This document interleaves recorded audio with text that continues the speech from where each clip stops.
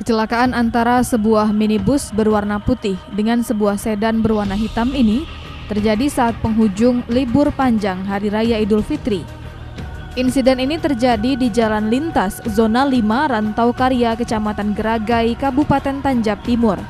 Akibat kejadian ini, mobil minibus yang dikemudikan Mardizon, warga Rantau Rasau, nyungsep ke dalam parit kebun akasia milik WKS setelah menabrak mobil sedan yang tengah parkir di pinggir jalan.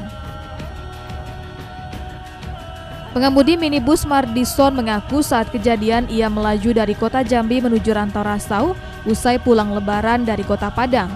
Di tengah perjalanan tanpa ia sadari di depan ada mobil sedan tengah parkir karena pandangannya tidak terlalu jelas akibat pantulan sinar matahari sore.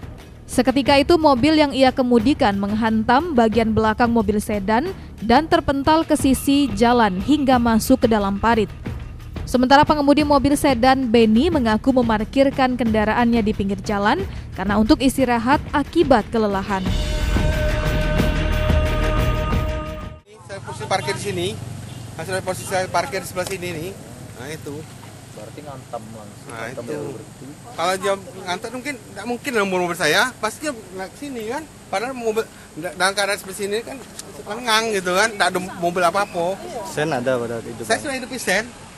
Nah itu.